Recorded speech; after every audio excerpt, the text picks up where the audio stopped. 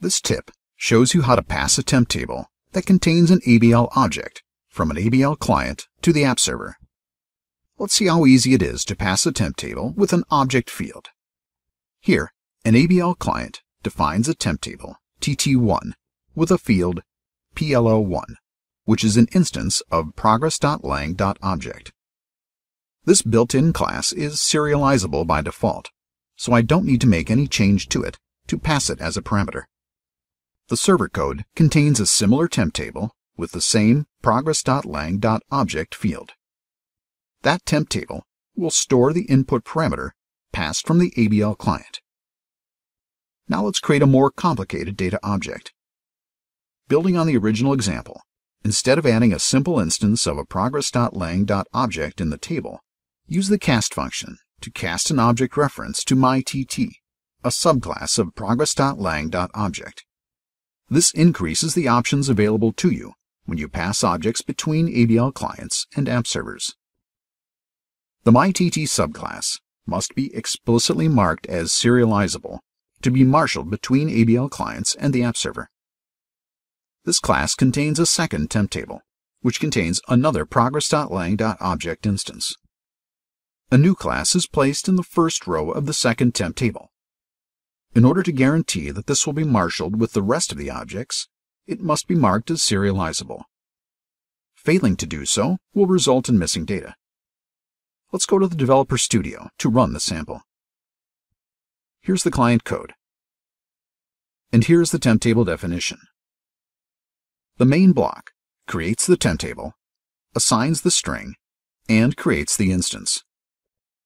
The cast function calls the custom method createMyTT to set PLO1 to an instance of our user-defined subclass. The class definition includes the keyword serializable, so it can be marshaled between ABL clients and the app server. The createMyTT method creates a second temp table with an integer and an object field.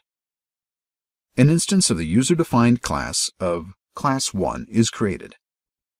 For Class 1 to pass between ABL clients and the app server, it must be serializable, which it is. The class is very simple, with a single public string shown here. Returning to client.p, the first temp table is passed as an input parameter. In the server code, a similar temp table is defined to store what is passed from the client. From this point, it is up to the individual developer to decide what they will do with the object that is passed. For this demonstration, I'll write a message to the log and show that new instances can be cast to PLO1. Before testing the code, it's important to verify that the working directory is set to the location of the server code. Using OpenEdge Management, navigate to the Configuration Settings for AS Broker 1 and verify that the working directory is set correctly. From the client program, select Run. The temp table is passed, and a message reminds us to look in the log file for the messages that were displayed on the server.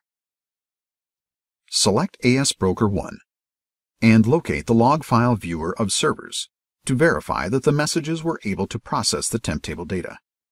If you're working with complex data and relationships, you can pass a ProDataSet using temp tables like these. When creating new classes, the serializable option has been added to Developer Studio. To reduce unnecessary and accidental passing of objects, subclasses do not inherit the serializable option by default. Passing objects between ABL clients and app servers is extra traffic on the wire, and programmers should consciously choose to serialize only those objects that are necessary for their applications. This completes our look at how to pass a temp table that contains an ABL object from an ABL client to the app server.